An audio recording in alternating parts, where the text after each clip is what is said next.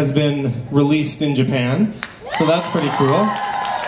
And uh, and Ben's Ben's got some uh, some photos of it on the HMV rack. That was kind of neat. So I'm gonna post those pretty quick.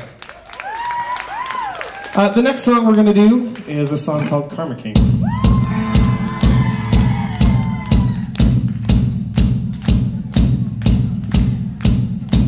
And I'm gonna play the drum.